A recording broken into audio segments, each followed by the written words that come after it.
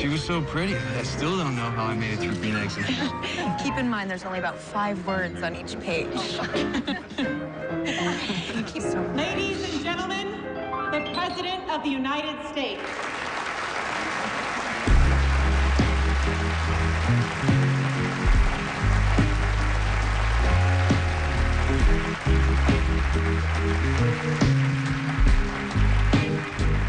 I've been tried and I've been tested.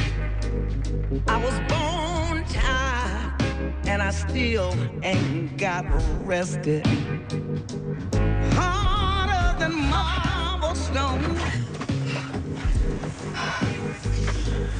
I'm better off. Don't think this means anything. I'm better off left alone.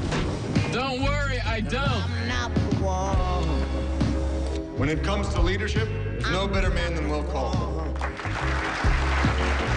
mean that. So Warren Haven not only does North Carolina get a damn good governor, but he'll be too busy to run against me in the primary. Thank you. Thanks, everyone. Thank you. Will. Now you thought I was normal. Harrison. Well, now I know why you won't go out with me again. You're having a torrid affair with Henderson. It's Harrison, and he's my coworker. Why are you calling? Me?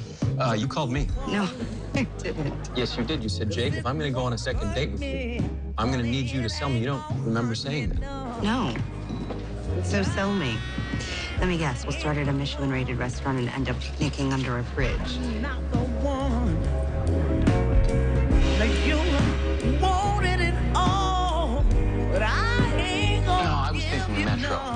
Mac and cheese in a Tupperware. The red line's my favorite, but it's also the longest. So until I'm sure that I like you, you know, as much as you like me, maybe it's best we start with something short, like the green line. I have to go, Jake. I'm sorry. Can I call you back tomorrow? Say hi to Henderson for me.